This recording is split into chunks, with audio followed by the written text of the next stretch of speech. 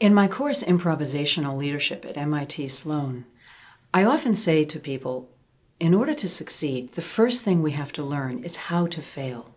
Wow, eyes open wide. It's a radical notion, but really it's not.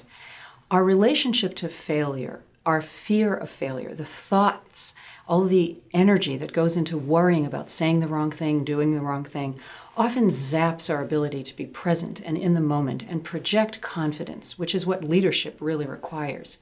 So, by helping people face that failure fear, what we're really doing is expanding their ability to succeed. How do we do that? One of the things we do is help people diminish the fear. It's one thing to identify, well, I am afraid. The next part of the process is to figure out, well, how to make it less, how to make it make less impact on you day to day.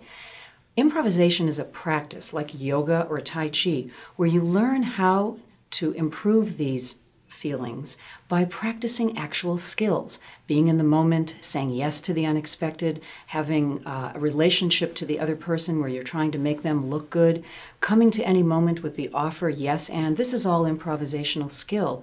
And what it does is it diminishes the fear because you're actually practicing over and over again the very thing you're most afraid of and coming to a better outcome. When you actually do what you're most afraid of and you realize you actually survive, it has a way of inoculating you against the fear. The worst part of the fear is worrying and thinking about the fear.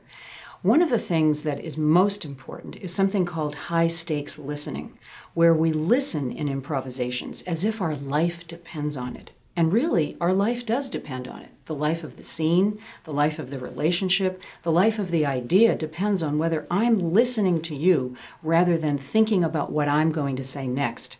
It's listening, adding the all important ingredient of caring, caring about what you say, making it really matter. Many students, when they first begin improvising, reveal commonly the habits that they fall into. We all have what we call a de- default habit role.